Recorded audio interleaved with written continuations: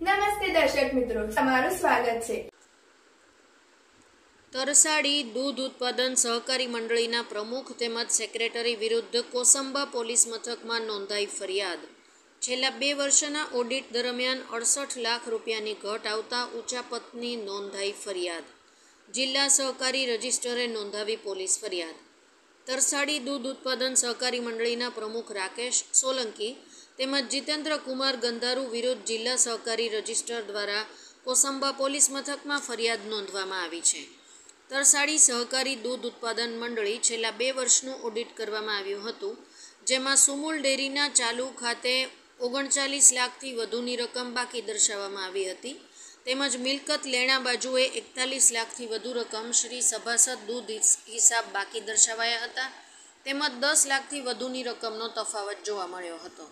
તમામ રકમ થઈ અડસઠ પોઈન્ટ સિત્તોતેર લાખથી વધુની ગેરરીતિ થઈ હોવાનું ઓડિટ દરમિયાન સામે આવ્યું હતું. જેની સંપૂર્ણ જવાબદારી મંડળીના પ્રમુખ અને સેક્રેટરીની હોય છે. જેથી ઓડિટ દરમિયાન હિસાબમાં ગેરરીતિ જણાતા જિલ્લા સહકારી રજિસ્ટ્રાર દ્વારા મંડળીના પ્રમુખ રાકેશ સિંહ સોલંકી તેમજ સેક્રેટરી જીતેન્દ્ર ગંધારુ વિરુદ્ધ કોસંબા પોલીસ મથકમાં પોલીસ ફરિયાદ નોંધાવી હતી. બંને આરોપીઓને આજે માંગરોળ કોર્ટમાં રજૂ કરવામાં આવતા નામદાર કોર્ટ દ્વારા બે દિવસના રિમાન્ડ મંજૂર કરવામાં આવ્યા હતા. મહત્વનું છે કે થોડા દિવસ પહેલાં થયેલા રાજ્યભરમાં ચર્ચાસ્પદ બનેલા ભાજપના પત્રિકા કાંડના રાકેશ સિંહ સોલંકીનું નામ મુખ્ય આરોપી તરીકે ખુલ્યું હતું. રિપોર્ટર પ્રશાંત પટેલ.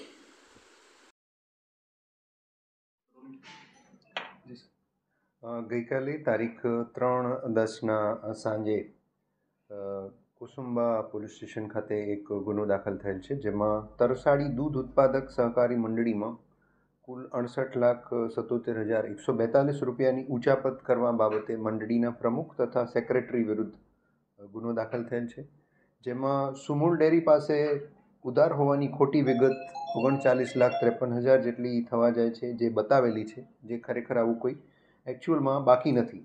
સભાસદ પાસે લેવાની થતી રકમ એકતાલીસ લાખ જેટલી બતાવેલી છે, પણ એમાં પણ દસ લાખ તેર હજાર જેટલી રકમ વધુ બતાવેલી છે, તથા માલના સ્ટોકમાં જે તફાવત છે, એ ઓગણીસ લાખ નવ હજાર જેટલું, એ તફાવત પણ જણાઈ આવેલ છે. આ બધી વિગત ડિસ્ટ્રિક્ટ રજિસ્ટ્રાર ઓફિસ દ્વારા આખા વર્ષનું ઓડિટ કરવાથી બહાર આવેલી છે અને ઓડિટ રિપોર્ટમાં ઓડિટરે કાયદેસરની કાર્યવાહી કરવા માટેની પણ ભલામણ કરેલી છે. જેથી આઈપીસીની કલમ ચારસો છ, ચારસો નવ, ચારસો વીસ, ચારસો પાંસઠ, ચારસો સડસઠ, ચારસો એકોતેર ચારસો નવ, એકસો વીસ બી ચોત્રીસ મુજબનો ગુનો દાખલ કરી અને મંડળીના પ્રમુખ રાકેશસિંહ રણજીતસિંહ સોલંકી, જે તરસાડીના રહેવાસી છે જીતેન્દ્ર રઘુનંદન ગાંધર્વ, જે સેક્રેટરી છે મંડળીના, અંકલેશ્વરના રહેવાસી છે, એમની ગઈકાલે રાત્રે ધરપકડ કરવામાં આવેલી છે અને આ કેસની તપાસ શરૂઆતથી જ એલસીબીને સોંપવામાં આવેલી છે તથા આજે કોર્ટમાં રજૂ કરતા બંને આરોપીના બે દિવસના રિમાન્ડ મળેલ છે. રિમાન્ડ દરમિયાન ગુનાની આગળની જે તપાસ છે એ ડોક્યુમેન્ટરી એવિડન્સ અને અન્ય સાહેદોના નિવેદનો દ્વારા કરવામાં આવશે. આ અત્યાર સુધીની બ્રીફ છે. Thank you.